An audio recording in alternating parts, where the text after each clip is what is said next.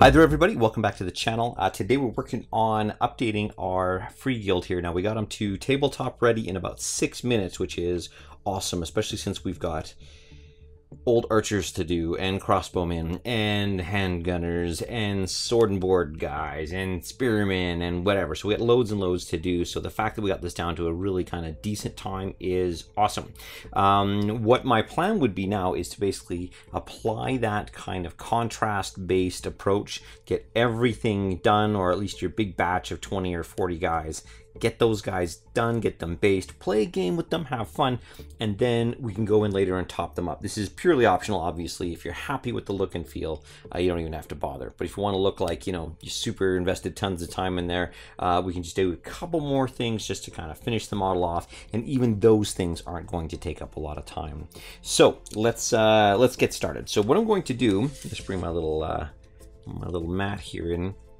Okay, and so what I'm going to do, uh, and again, the other nice thing about this is you can pick one highlight and batch all your guys and do it. So for example, if we were to start with the uh, yellow, for example, um, what we would do is we do the, all the yellow on all our guys and we could just leave them. And if you stop there, fine. Um, they're just a little bit brighter. And we could do the same thing with the red. Um, we'll highlight the blues and on and on we'll go. So uh, let's, uh, let's take a look. So um, we're going to start this whole process off. We'll do one color at a time.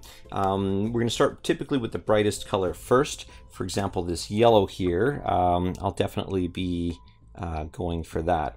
Now with the yellow, all we're going to be doing is just an overbrush. So you'll see there's a little seam in the legs there.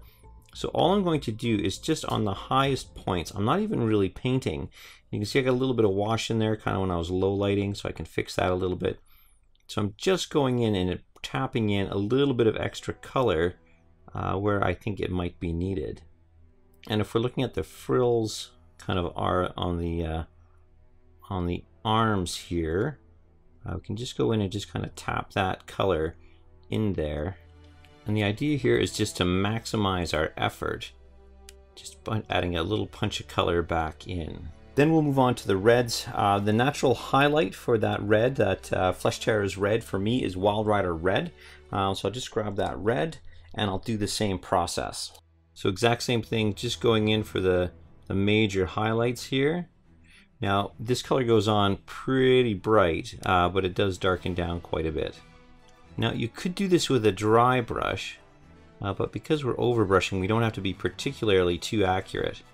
Um, and I find that the dry brush kind of gives it a rougher uh, texture, which is good for some kind of skin effects.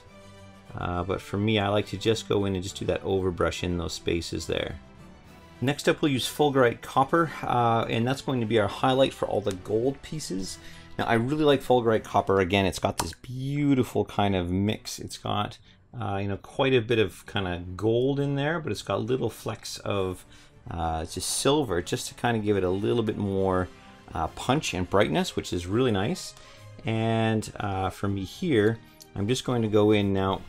Most of them have this kind of braided, it's either a weld or just kind of like a braided kind of copper or gold kind of layout around the outside there. So I'll just touch that, but I'm not like painting it, like tap, tap, tap, tapping it all the way through. I'll see that at the front as well. Perfect. And that just gives a little bit of extra punch. And then of course any kind of buttons or any kind of design elements, we can brighten those up as well. For anything that we previously had kind of in that Leadbelcher there, we're going to use Runefang Steel. And for that, we're just going to give, again, a little bit of brightness on the armor. So we're not actually going to repaint the armor uh, so much as we're just going to kind of scratch in a little bit of extra highlight. So on the armor here on the chest plate, I'll just kind of pick an area kind of on the upper middle, and I'll just touch in a bit, a bit of brightness up top there. There's a little bit of edging down there. And on the spear, I'll just kind of pick off that tip of that spear.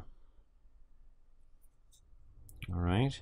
Now, if you have, so I'll just go up here, just kind of where it would be exposed a little bit here, and it just gives you back a little bit of texture, and then just kind of edging uh, any of the ridges in the armor there.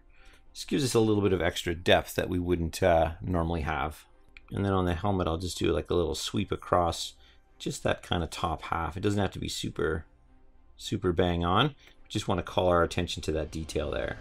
For anything wooden, um, I've gone in with that kind of deep brown contrast. So now what I like to do is use Steel Legion Drab and just kind of pick out a little bit of the, uh, just kind of a little bit of the, the wood there, just to give it a little bit of texture. Now we don't have to paint grains on or anything like that. All I'm going to do is just kind of touch it and drag it down a little bit. Uh, just so I've got a little bit of depth. So I'll leave some of it with that contrast kind of still effectively there just like that. So not a perfect kind of repaint, just kind of a scratchy one, just to give it a little bit of a little bit of a different texture, just a little bit more natural. Now finally, anything we do with the Black Templar, for example, the uh, hat here, this very fine chapeau, uh, you'll see that it's kind of a deep gray.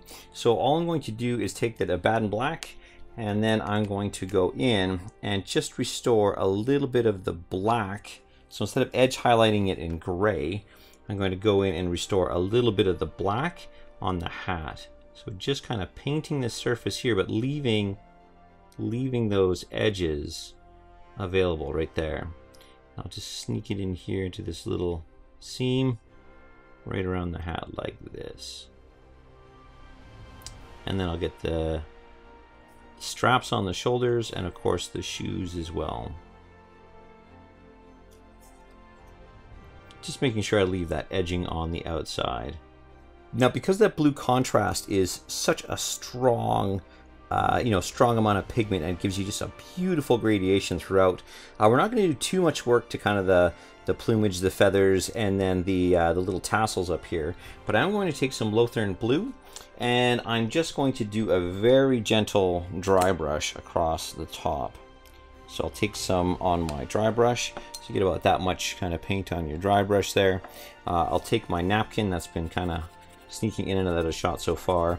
And when I don't have any really much paint left on that uh, brush, I'll just go take this here and I'll just sweep up. Now you don't have to dry brush the whole thing.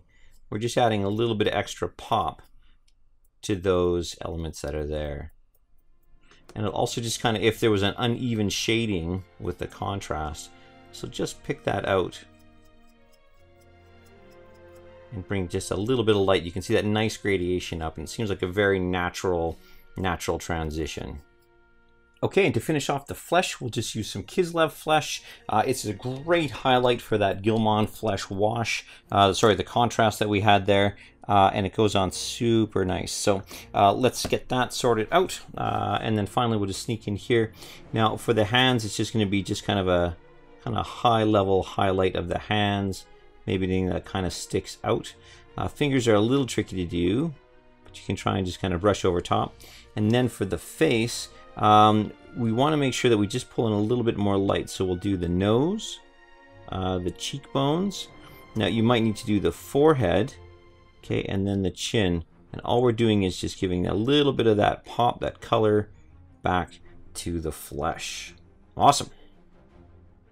All right, so we've added on an extra about three minutes to that task of that initial six minutes, and you can see how far that gets us. I've taken this and I've you know applied it right across the entire uh, squad of 20 dudes, which was done uh, you know so fast, which is great. So speed painting through these guys, still having that amazing kind of regal look, um, and you can see when they're all assembled and they're all painted, it looks great. The alternating color schemes really help break up, like even when you got two of the same guy standing right beside each other, it breaks it up just a little bit. And um, no, I love the look look and feel of these guys. Now the task is just to go and apply it to, you know, 40 sword and board guys, you know, like applying it to any archers you might have uh, anything like that. But oh man, they look they look great. Super happy with it. Super happy with the time that I've invested uh, in terms of what comes out in the payoff in the end. So uh, that's it for this one, guys. I hope this was of value, and I hope you guys get some painted models on the table. Um, if you liked the video, obviously jab that like button. Uh, it really helps uh, you know show YouTube that you like what's kind of going on here and it's interesting content. Uh, it also lets me know kind of what you like as well. And if you're new, consider subscribing. Uh, you'll get content updates, you know, kind of all of our new uh, and kind of future videos. Um, but that's it for this one, guys. Thanks so much for watching. This was a ton of fun. We'll catch you in the next video.